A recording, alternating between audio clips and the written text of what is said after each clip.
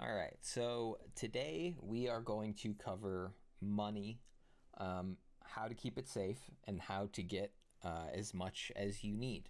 Um, so basically, if you keep all your money in your regular bank account, uh, that sucks because if someone does get access to your system or you have any any saved passwords or anything, then they're going to be able to take all your money. So the typical option is to use uh, BTC because the exchange rate is $1 to 1 BTC back and forth.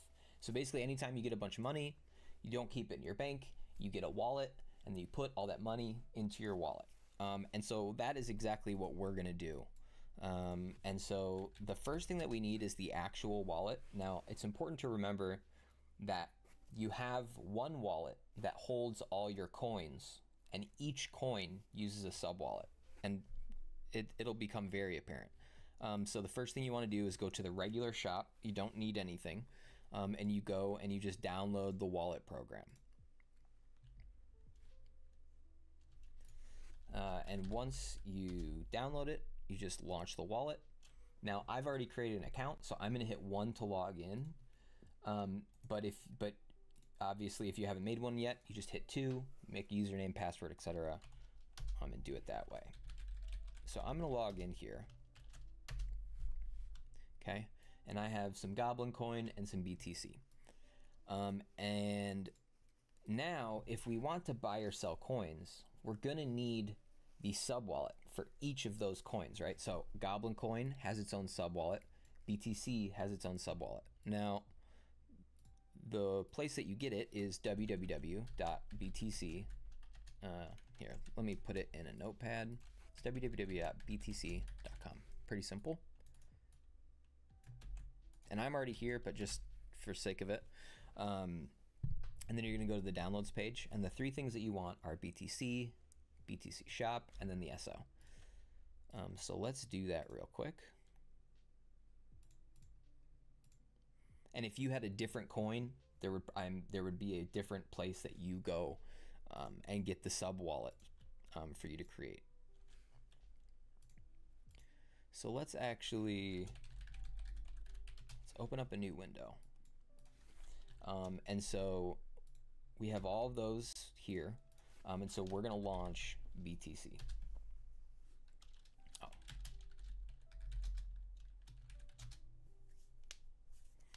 And if you've never done it before, you type register. Because I've already created my account, I'm just gonna hit login. Um, and then I'm gonna pump in my username. And then here you have a computer color. And this is basically for verification. So because the color is this, just take note of that. If you're logging into other programs that use the wallet, it should still be the same color. Keep in mind if you're on a different computer, that color will also be different because it's generated by computer, right?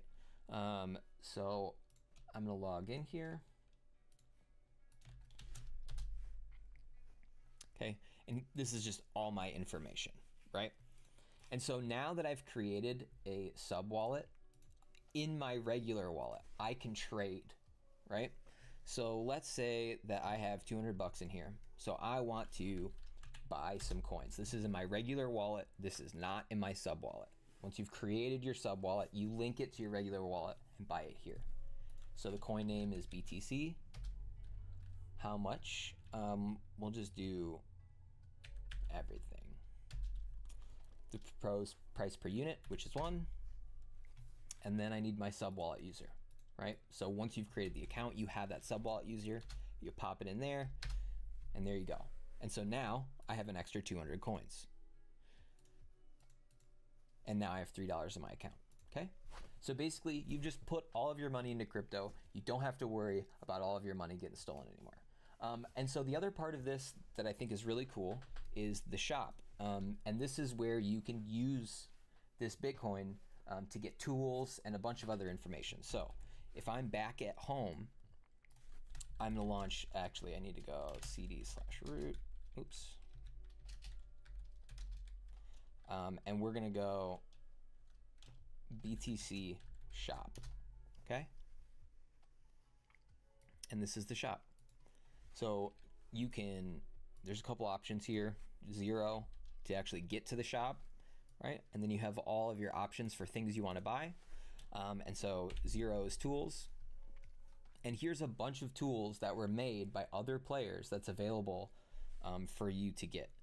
A lot of I know a lot of these also just have GitHub links, but I I kind of like the idea of you know of keeping it in game. So um, I've already bought Akari, and so we're just going to use this as an example. Um, so I'm going to go 15. And see, I can buy it right now, or I can log into my account because I already have it, right? So this is where the uh, the uh, two-factor basically comes in. That that color shouldn't change because I have not changed computers that I was doing this on, right? And so now I have Akari on my system. Now notice that there may need to be some permission changes for Akari to work properly, um, but I just wanted to show you to download that. Okay, so we have um, made money, put it into crypto, and then we've bought some tools with it. So this is all good, but I think the um, the fun part here is the uh, is the bank grinder. So I'm gonna link the GitHub in the description, and this will basically give you as much crypto as you need. Um, so you go to the GitHub, copy the link, um, and we're gonna go to code editor.exe. We're just gonna paste it in there, and we're just gonna call it bank. Okay. And so basically what this does is it's going to iterate until it gets 500 bank accounts, okay? And then it will output it to a file. So let's just type bank. And it's just going to start doing its job. Um, and then once it hits 500, um, then it'll it'll save it all to a file, um, and then you just copy and paste it and log in. So I'm going to cut to when this is done, um, and then we'll do a couple of them. All right, we are coming up on 500 banks. Um, so once we hit that threshold, it's going to create a folder, um, and then inside that folder is going to be the stuff. So let me break out of this. And now we have banks folder, right? And then inside this uh, is a list of 500 bank accounts and their passwords. Now, it can sometimes they have none, sometimes they have like 150 bucks in there. Um, but honestly, if you ever need some money, just uh, you know fire this up for a little bit and go grab some. I I was hesitant to cover these in videos because I don't know if this kind of like disincentivizes people to play the game if they no longer need money. But I think in most cases it doesn't. Um, I feel like the money isn't like really a huge part of why a lot of people play this because it's it's not like a huge part of it, right? Like the the behind the, the scenes stuff is where you know most of the action happens. So um, yeah, I also wanted to mention that we are going to cover like I downloaded Akari um, in BTC, and and there's some other programs that I want to cover as well um, in future videos. So we will be using some of these tools that we're getting from the hack shop.